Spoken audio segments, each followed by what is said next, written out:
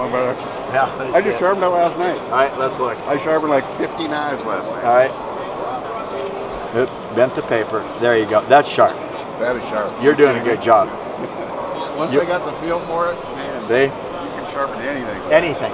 Except uh, drill bits, saw blades, and lawnmowers. I don't sharpen those. Yeah. I sharpen drill bits, but I'm not going to tell you to because if you don't understand a drill bit perfectly, the first pass you dull the bit.